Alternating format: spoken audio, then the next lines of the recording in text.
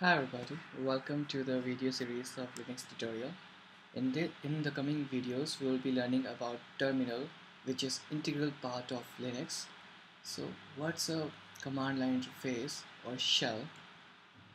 So before learning about it, we should know what are the kinds of interfaces available in operating systems. So there are two types of interfaces. First one is graphical user interface. Uh, we, we, we call it GUI and CLI command line interface.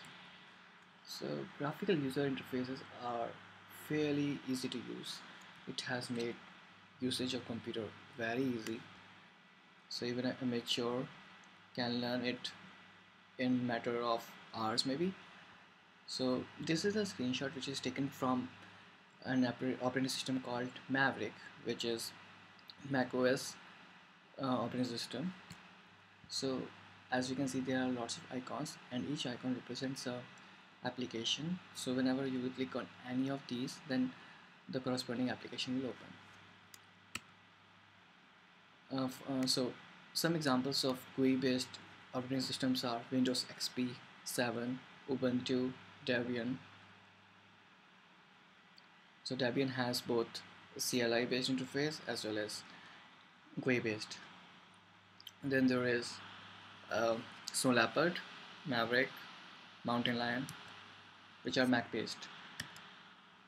Uh, so about command interfaces, there is a learning curve to it.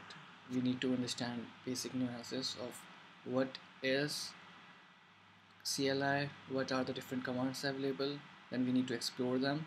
We need to read their manual about the best how to use them optimally. Okay also you can uh, create your own command by writing a bash script for it. So it's a very fast and powerful way to interact with machine. Back in the days of 1980s there was only CLI and people used to interact with machine using the CLI only. Also thousands of combinations are possible through pipelining of output of one command into another which makes command line interfaces very powerful. Some examples of command line interfaces are Unix, MS-DOS, which is entirely CLI based. Then there, then the terminal, which is inside Linux, is also example of CLI. Um, there is uh, there are operating systems like Arch Linux, Debian, which have installer in purely non-GUI or CLI based so this is a sample video of how we use terminal. So this is a black screen which uh, which black screen with white text which is a typical CLI based window. And as you can see this is the ls which is a command and it shows all the files and directories of particular directory. ls-al is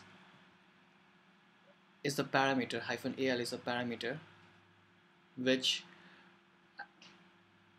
adds more features or data into the command. So what we are trying to do is we are listing down all the files and folders in particular directory and then we are redirecting output of one command into a file. So we are saving the output of ls-al into dir.txt so dir.txt is created now and vi is the editor so now all the the output of ls-al was sent to dir.txt which we saw through vi.dir.txt just to make it clear we need we should watch it again. And this is the output. This is the output and now greater than is the redirection symbol. So the output is redirected. And while typing vi dir.txt we are actually seeing the output which was saved in the file. And this is how we redirect and use terminal. So in coming videos we'll be learning about various commands available in Linux by default Thank you for watching the video.